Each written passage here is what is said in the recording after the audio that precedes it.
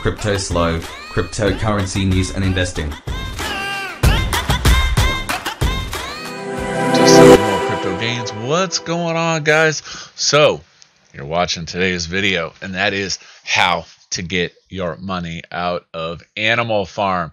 So, Animal Farm shut down, paused all the contracts, and everyone's money has been held hostage. Now, keep in mind, if you do do this, you lose any dog rewards that you have accumulated. Let me repeat you lose any dog rewards that you have accumulated.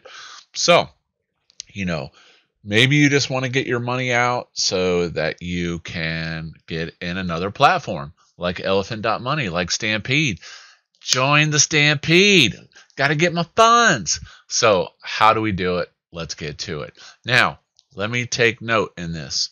This is at your own risk to do this. Okay, so make sure you know the risks of smart contracts. This is a more advanced operation, DYOR, etc., etc. So the first thing you need to do is so you go over to VFAT and you need to find the pool ID.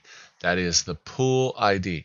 So the pool ID is going to be represented by the number that's in top left corner of the VFAT list. So if you go over on Animal Farm, I was in the BTC WBNB pool. So all I simply do is I go down until I find that pool and I've found that pool. I have about 111,000 in that pool, okay?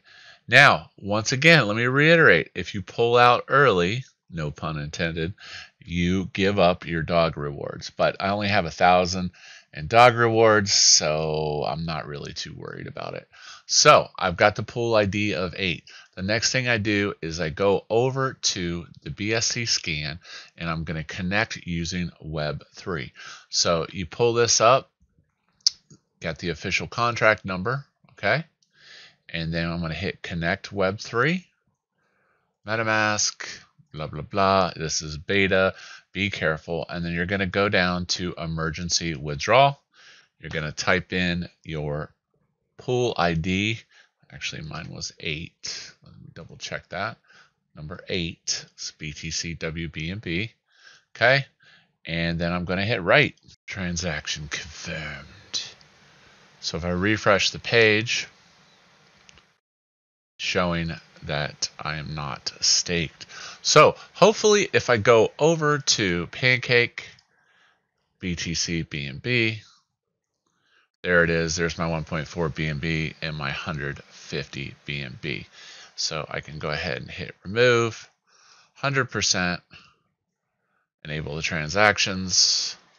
And then when I go my wallet, you can see that I have successfully removed my liquidity. That's it. And then, so my liquidity is removed. My funds are Safu and free.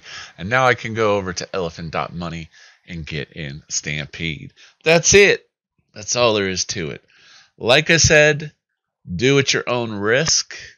Be careful and know what you're doing. So, going through the steps again yield farming, connect, Find the pool ID based on VFAT tools, number one. Number two, go to the contract, hit Connect Web 3, go down to Emergency Withdrawal, put in your pool ID, hit Write, confirm the transaction.